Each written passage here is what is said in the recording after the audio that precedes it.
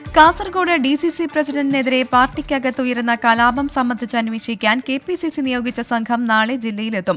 D C C president Hakim കുന്നിലിനെ സ്ഥാനത്തു നിന്നും മാറ്റണമെന്നാവശ്യപ്പെട്ടാണ് ഗ്രൂപ്പ് വ്യത്യാസമില്ലാതെ നേതാക്കൾ A I C C general സെക്രട്ടറിക്ക് കത്ത് നൽകിയത്. തദ്ദേശ തെരഞ്ഞെടുപ്പിലെ മോശം പ്രകടനം ചൂണ്ടിക്കാട്ടിയാണ് കാസർഗോഡ് ജില്ലാ കോൺഗ്രസ് അധ്യക്ഷനെ മാറ്റണമെന്ന് കെ പി സി സി സെക്രട്ടറിമാരും നിർവാഹക സമിതി അംഗങ്ങളും എ ഐ സി സിയോട് ആവശ്യപ്പെട്ടിരിക്കുന്നത്.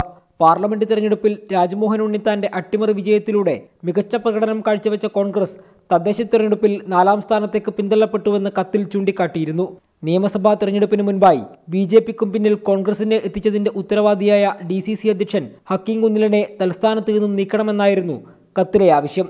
കത്തിന്റെ പകർപ്പുൾപ്പെടെ മാധ്യമങ്ങളിൽ വാർത്തയായതോടെയാണ് രണ്ടംഗ സമിതിയെ സംഭവം സംബന്ധിച്ച് അന്വേഷിക്കാൻ കെ നിയോഗിച്ചത്. K P C C general സെക്രട്ടറിമാരായ അഡ്വക്കേറ്റ് സോണി സെബാസ്റ്റ്യനും അഡ്വക്കേറ്റ് സജി ജോസഫും അടങ്ങിയ സംഘം നാളെ കാസർകോട്ടെത്തും.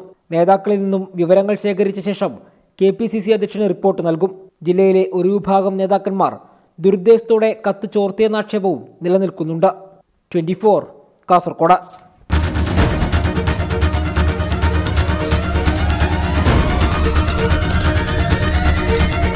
Twenty four രണ്ട് വർഷത്തിന്റെ നിറവിൽ